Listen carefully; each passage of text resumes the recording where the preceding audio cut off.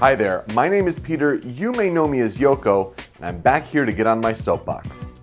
In the past week or so, you may have heard about a Russian man who volunteered to have a medical procedure to have his head transplanted. I know it sounds like a crazy medical procedure, but stick with me and we'll draw this out a little bit. Of all the different international news sources that decided to run a story on this, the International Business Times decided to do a video interview with the surgeon behind the procedure. His name is Dr. Sergio Canavero. Does his face look familiar at all? Dr. Canavero is part of the Turin Advanced Neuromodulation Group. His head anastomosis venture is codenamed Heaven. He recently wrote a book called Head Transplantation and the Quest for Immortality, where he proposes a spinal cord fusion protocol named Gemini. Here are the book's chapters. He recently did a TED Talk in Limassol, Cyprus. Here's the logo for that talk. One of his recent reports was titled Painful Supernumerary Phantom Arm Following Motor Cortex Stimulation for Central Post Stroke Pain.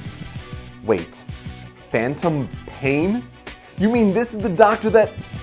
Oh, man. So recently, the Metal Gear Solid community over at NeoGAF has been maniacally digging into what could be one of the most obscure viral marketing campaigns of all time. Is this head transplantation story really just a marketing front for Metal Gear Solid 5 The Phantom Pain? What a deep, dark web that would be if it were true. But think about it though. Heaven, clones, Ted Limassol is just an anagram for solid metals. There's everything you know is wrong. V has come to. And with the recent PC data mining that people have done for Ground Zeroes, it's kind of been determined that the hospital from the beginning sequence of the game is likely in Cyprus. Not to mention, there's this.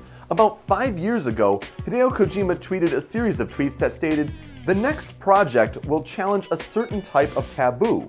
If I mess up, I'll probably have to leave the industry. However, I don't want to pass by doing that.